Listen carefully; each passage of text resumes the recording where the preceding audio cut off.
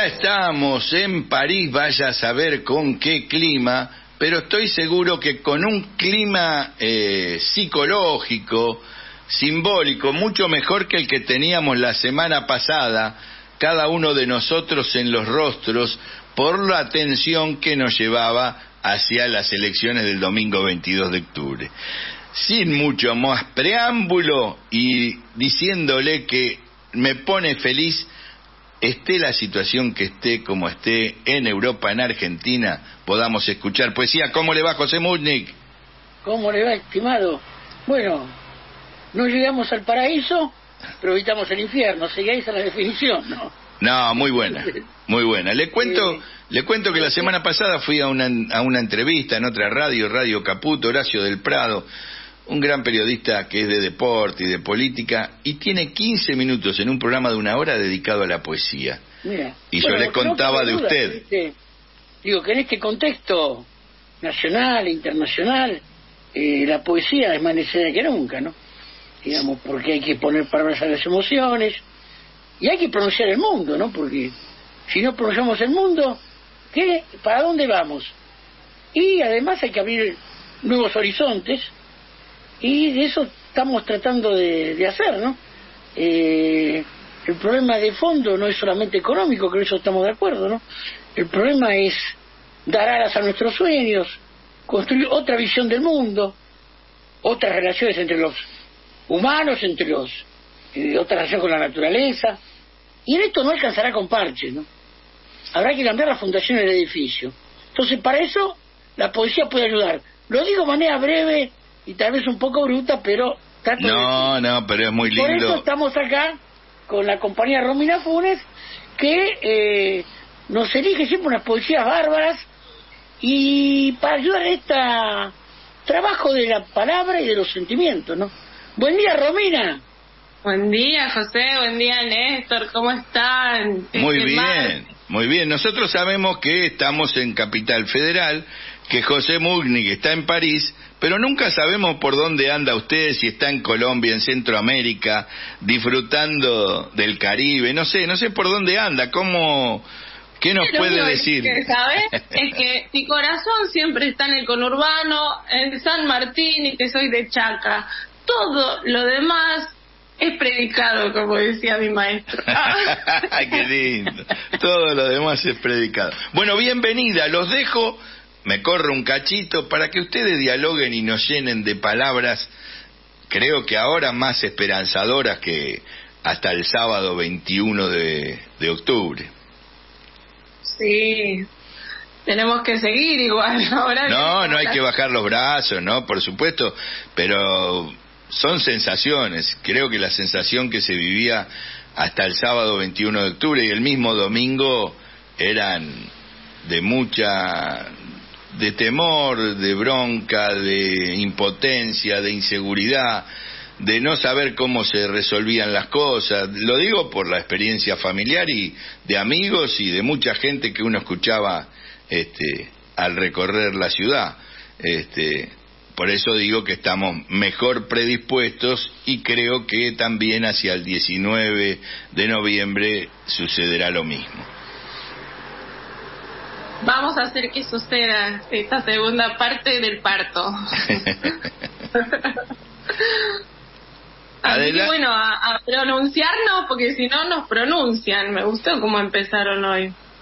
Sí, estuvo lindo, estuvo lindo. Y me gusta José cuando dispara, cuando dispara palabras desde, desde Francia y que, como les contaba, que me encanta a mí que en distintos programas, aunque haya política, inclusive en algunos casos deportes, se atrevan con la poesía, porque deja siempre una puerta abierta, que los demás discursos o relatos muchas veces cierran, ¿no? El relato político, el relato deportivo cierran, la poesía abre, ¿no, José? Sí, bueno, Romina, estás suficientemente despierta para leernos algo. Y yo siempre estoy despierta. trajimos, trajimos, que es un trabajo en equipo, este que hacemos con José Muchnik. Eh, trajimos a María Teresa Andrueto, por ejemplo. Me encantaría empezar con ella. ¿Qué les parece? Sí, cómo no. extravío. Aún no sabe decir su nombre y la han mandado a lo de rabachino a comprar harina, azúcar negra, polvo de hornear. Si lo hace bien, le darán caramelos, estampitas, besos. En el bar hay olor a hombres y a vino viejo, también un piso flojo de madera, y ya está el miedo de pisar en falso. Lleva un papel escrito,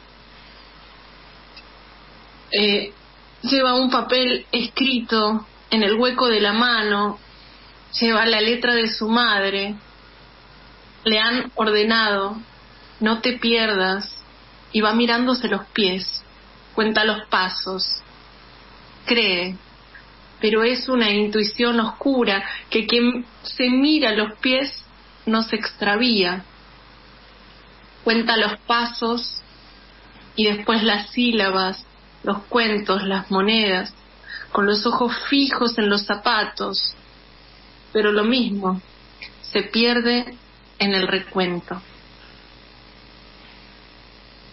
Lindo, ¿eh?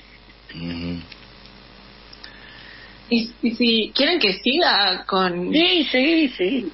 Qué poeta hermosa, Andrueto. Desnuda en la tienda. Tiene un epígrafe de June Jordan que dice, no era coqueta, era fuerte. Necesito ropa, dijiste. Una blusa alegre de color subido. Y fuimos a la tienda. La chica que nos llevó a los vestidores se llamaba Tula. Te queda rico, dijo. Te queda de novela. Nos metimos las dos en esa caja. Entrábamos apenas. Como no había asientos ni percheros, te ofrecí mis brazos. Te sacaste el vestido, la campera, te sacaste la blusa, las sombreras, te sacaste el turbante, la remera, te sacaste el corpiño, la bolsita de mi hijo, te miraste al espejo y me miraste, y yo vi tu pecho crudo, las costillas al aire, y después tu corazón como una piedra, fuerte y fatal como una piedra. ¿Eh? ¿Qué me dice don Néstor Picone? No, ¿Eh? estoy conmovido por el cierre del poema y por toda la descripción. Nos lleva, yo estoy contento con la poesía, porque nos lleva a recorrer todos los caminos de la cabeza y la abre, la abre a la sensualidad, la abre al erotismo, la abre este, a decir palabras diferentes contra el odio y también sobre el amor, a dejar interrogantes la ambigüedad y la ambivalencia. Pero sigan ustedes, no me hagan hablar a mí. No, para saber si no, si no censuraba, porque no. Porque es erótico no leemos todos los días, ¿no? No. Sí, igual este es muy erótico. Para erótico tenemos a Marion Bergenfeld, eh, también poeta argentina, ¿la conocen? Linda poeta también. Eh. Déale, déale, Romina, déale. Es una poeta rocker, me encanta ella cuando viene. Eh. Me pone su cara. Eh, Marilyn Blues. Fui criada, perdón, fui creada para el asedio y la maravilla. Tengo una carne tan dulce que ni siquiera se puede morder, porque ni bien me besan, soy azúcar, alcohol, un plañido que no se consuela. Para el asedio me hicieron una noche de luna llena y demasiado pronto me pusieron al frío del amanecer, presa en la torre alta de un cuerpo descontrolado, supe los milagros del amor apenas por reflejo. He dormido con armadura. Desde el inicio de mis días activos pude con los cachorros que me crecieron y el arte de jugar, pero sola permanecí, guardada, intacta de una pureza que ni yo mismo, ni yo misma comprendo. Nadie dejó marca en esta arena ondeada donde sigo descalza y te llamo y estoy. Marion Bergerfeld. bueno, estamos con poesía argentina, qué lindo. De mujeres potentes. Sí, fundamentalmente. Y eso nos viene bien. Lo noto un poco a la expectativa, Múnich, que él debe tener algún escrito allí. Para mí que Muchnik se me sonrojo. Mira, no lo veo, pero... ¿Cómo no me ves? Sí, en lugar de verme. Eh, no, ya que estaba pensando que ya que el título, porque siempre damos un título y pusimos como título para la democracia poesía, entonces yo me decía, bueno, nombrar la democracia tampoco, las palabras son a veces como la mermelada, ¿viste? Las ponen sobre cualquier tostadita, ¿no? Entonces eh, había que aclarar eh, qué tipo de democracia estamos hablando. Y yo me decía, bueno, una democracia que en un momento hablaba yo de democracia burbujeante, ascendente, ¿no? Algo que venga de abajo. Después, para no hablar de democracia popular, que es muy... Muy ascendente no queda mal, me decía algo que venga de abajo. Después le dije, bueno, ¿por qué no? Democracia territorial, algo que se construya también en, en los territorios de manera amplia, en un territorio, pues una escuela, una cantina, un bar, algo que sea territorio en el sentido de lo que está de, de, lo que está marcado como territorial, ¿no? Y también hoy me decía, ¿por qué no pelear por una democracia alegre, no? Porque, y sí, viste, no, está un poco podrido, ¿no? De tanta, tanta cosa, tanta... Por eso de todas las palabras que usted dijo, la que más me gustó es burbujeante. una democracia burbujeante. Entonces, buscando democracia alegre, caí sobre un poema de Mario Benedetti, un clásico, ¿no? De la literatura latinoamericana, eh, y eh, la vereda de enfrente, y leemos también no solamente mujeres, leemos también hombres y uruguayos. Entonces, vamos con Mario Benedetti, un poema que le va a gustar a usted, y está bueno entre las dos vueltas, que se llama Defender la Alegría, ¿no? Y el compañero Mario Benedetti dice lo siguiente, defender la alegría como una trinchera, defenderla del escándalo y la rutina, de la miseria y los miserables, de las ausencias transitorias y las definitivas. Defender la alegría como un principio, defenderla del pasmo y las pesadillas, de los neutrales y de los neutrones, de las dulces infamias y los graves diagnósticos. Defender la alegría como una bandera, defenderla del rayo y la melancolía, de los ingenuos y los canallas, de la retórica y los paros cardíacos, de las endemias y de las academias.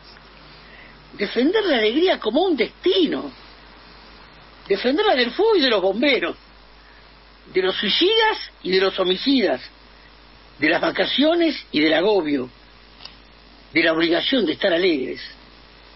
Defender la alegría como una certeza, defenderla del óxido y la roña, de la famosa pátina del tiempo, del relente y del oportunismo, de los proxenetas de la risa. Defender la alegría como un derecho, defenderla de Dios y del invierno, de las mayúsculas y de la muerte, de los apellidos y las lástimas, defenderla del azar y también de la alegría. ¿eh? si le dejamos esto, esta democracia burbujeante y alegre, yo creo que Romina ahora sospecho toda la intuición que fue a buscar algo para leernos. Sí, Porque vieron cómo es esto, una cosa trae la otra. Yo sé que teníamos un plan, pero bueno. Ah. Pero lo vamos a romper, por lo que veo. Es que recordé como estábamos ahí eh, con, con mujeres poetas argentinas y, y trajiste a Benedetti tan hermoso, ¿no? Tan hermoso. Ojalá todos los varones fueran como él. Eh, y después hablamos de la democracia, lo burbujeante, lo ascendente, y recordé las elecciones, y recordé esta segunda parte del parto que se viene, y una cosa me llevó a la otra, y apareció la palabra grieta.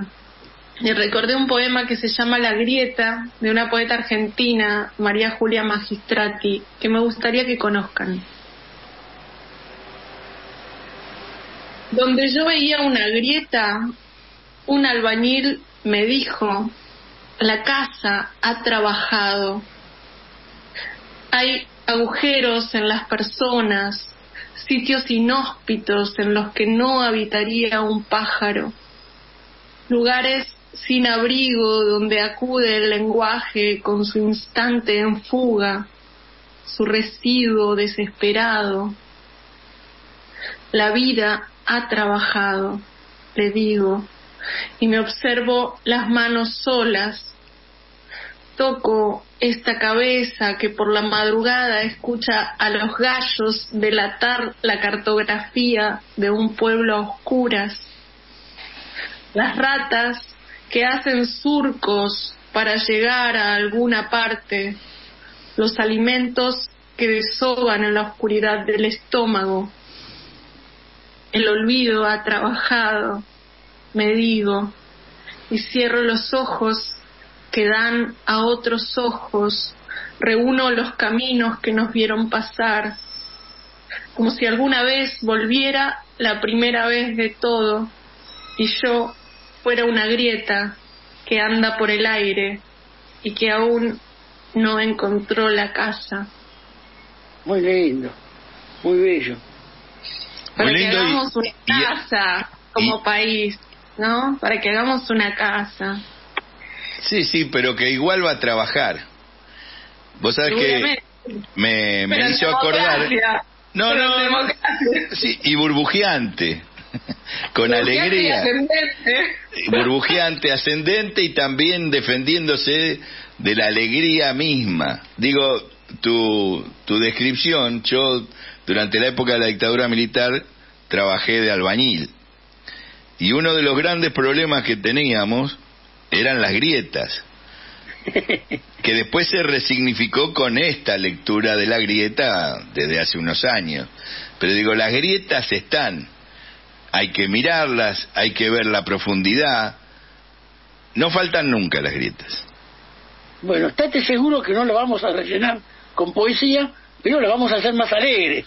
No, no, no, no, pero es que la grieta tampoco hay que vivir.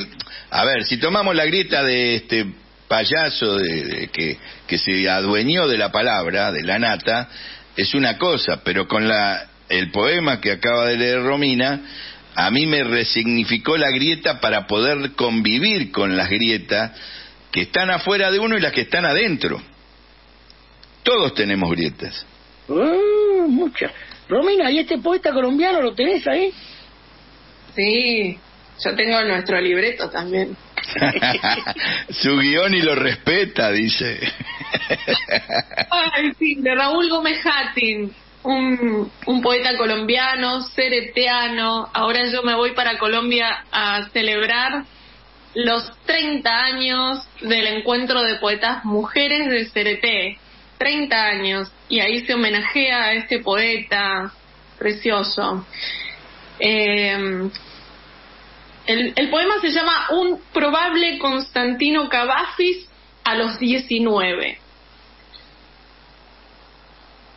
Esta noche asistirá a tres ceremonias peligrosas. El amor entre hombres, fumar marihuana y escribir poemas. Mañana se levantará pasado el mediodía. Tendrá rotos los labios, rojos los ojos y otro papel enemigo le dolerán los labios de haber besado tanto y le arderán los ojos como colillas encendidas. Y ese poema tampoco expresará su llanto. Raúl Gómez Hattin. Muy lindo. Estimado Picone, eh, vamos avanzando eh, y yo pensé como que también sería interesante eh, como hay un tema de también de inflación, de precios y todo, en el arsenal de los poemas que tenía por acá, encontré un poema que se llama Precios y Valores, ¿no? voy a leer un extracto, no le voy a decir exactamente de quién es el poema, pero los oyentes podrán, podrán llamar y decir de quién es, no sé. Se llama, es un poema que se llama Precios y Valores. A ver. Y dice, y, y también cuestiona el tema este de cómo se forman los precios, todo el verso no se hace. Entonces, en el medio del poema aparece esta pregunta. ¿Por qué? ¿Por qué un Volkswagen Golf, colores a elección según necesidades, vale 14.000 kilos de aranaz, con sus cortezas diseñadas por la geometría de los dioses, la esencia del sabor en la matriz de la pulpa? ¿Por qué un televisor Toshiba, pletórico de electrónicas alternativas, vale 3.000 kilos de café, encerrando en cada grano el aroma del universo y el secreto del desvelo en la prehistoria de la noche. ¿Por qué? Un cagatintas onusiano medio, con el escalafón tan preciso como el vacío de sus informes, vale 10 años de paga del campesino que trata, dialogando con la tierra, de darle sentido al cielo. Y hay otra parte dice la respuesta. Dice, no hay por qué. No hay por qué. En el lago más profundo, entre líquidas razones, nadie entiende nada. ¿Por qué los sapos convocan asambleas para decidir qué noche pintarán entre los juncos? ¿Por qué la abeja reina asesina a sus amantes y ya huérfana la miel no pregunta por su dulzura?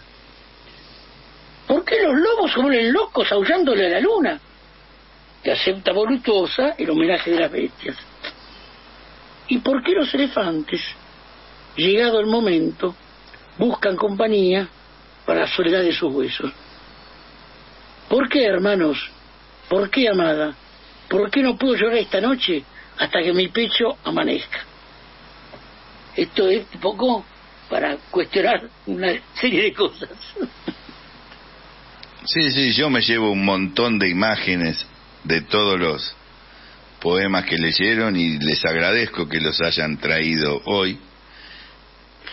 Este, y que podamos combinar algunas cosas como una marca de auto y el peso de los precios y los valores y la discusión con la sensualidad y la sexualidad que nos trajo Romina, que a cualquier hora del día viene bien para decirlo así, rápido. Pero bueno, hoy me gustó mucho el programa, nos quedan un par de minutos. Romina, tu cierre, que no es justamente el de alguna ropa. Uh, ¿Cómo estamos, eh? usted abre la puerta y uno juega.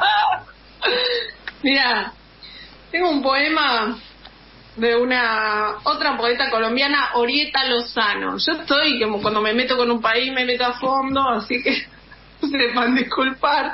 Cuando vuelva, retomo otras nacionalidades. Ciencia ficción. El rayo que descendió apagó su luz sobre el cuerpo del santo y del demonio.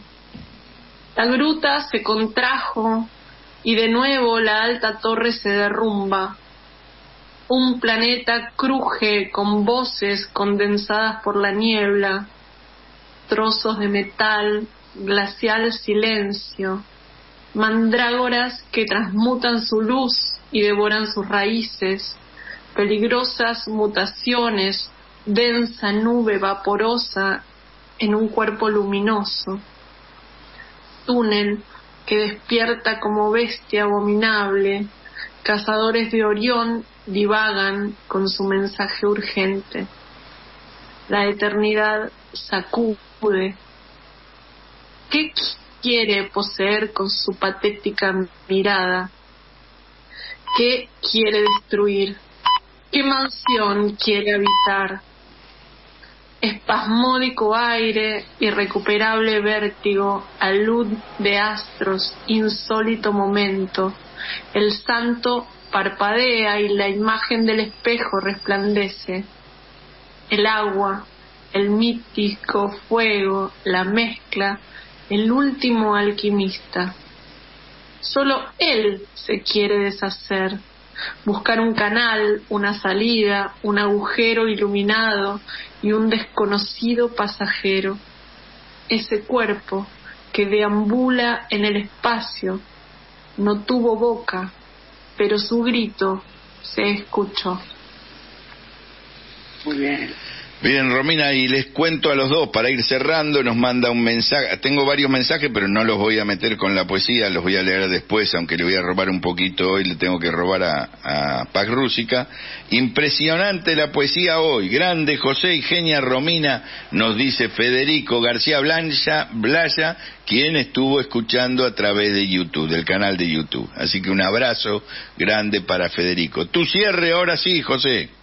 Bueno, para cerrar, yo cierro con otro clásico, pero muy rapidito, que es lo que dijo Gabriel Celaya, ¿no? el gran poeta español. Esto no es una poesía gota a gota pensada, no es bello producto, no es un fruto perfecto, es algo como el aire que todos respiramos, y es el canto que espacia cuanto dentro llevamos. Tal es mi poesía, poesía herramienta, a la vez que latido de lo unánime y ciego. Tal es, arma cargada de futuro, arma expansiva con que te apunto al pecho. Yo quería citar esto de, de Celaya, pues estamos además en un periodo de, de combate electoral y también poético. Muy bien, hoy me gustó muchísimo el programa, les agradezco, me abrieron la cabeza, el pecho, el corazón y espero que a los oyentes también les haya gustado. Un abrazo grande, Romina, buen viaje a Colombia. Gracias, abrazo. Chao, José. La semana Chau, que chau. viene al frente, como siempre, con Carlitos Di Mare. Chau, chau.